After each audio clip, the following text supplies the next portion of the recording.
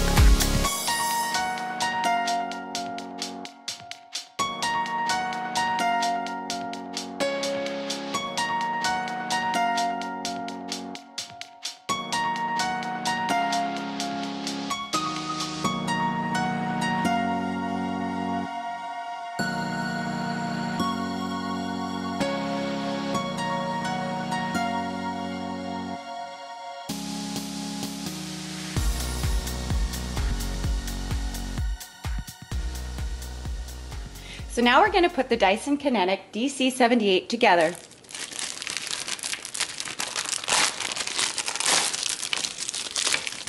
Inside the package, you will find the history of Dyson, an envelope for your warranty, and the instructions.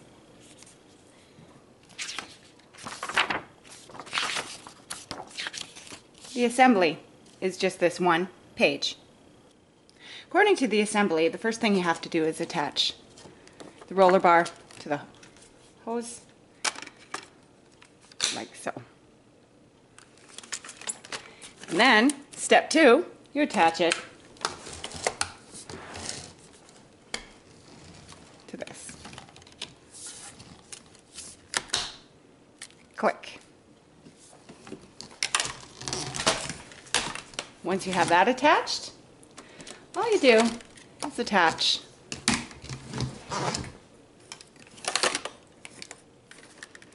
this. Again, a click. One, two, three. Done? Well, that was easy. So it turns out that the assembly of the Dyson Cinetic DC78 was as simple as one, two, three, literally. But you also got this handy attachment here that attaches to the bar to hold some of the accessories.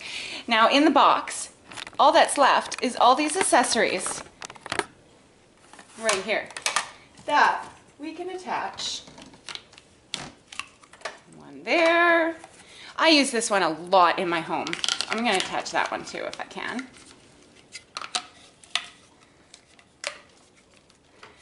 And this can be moved up or down, depending on where you want to put it.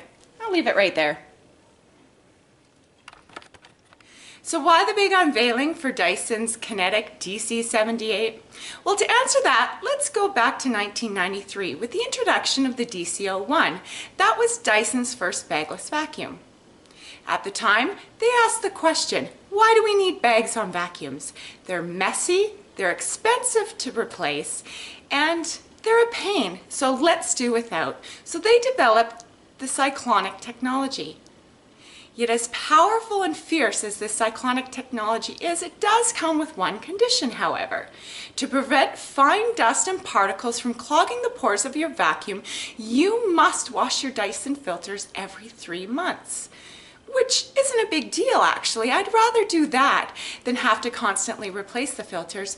Yet, when you wash your Dyson filters, you have to let them dry in a warm place for 24 hours.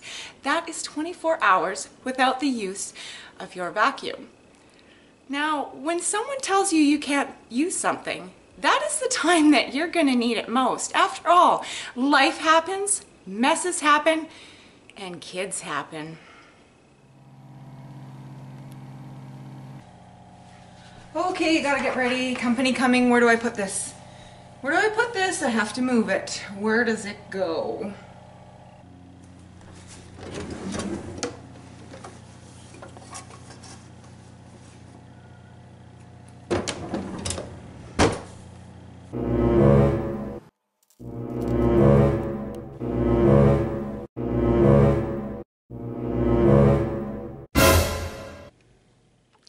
All brings me to why the Dyson Cinetic DC78 is a pretty big deal.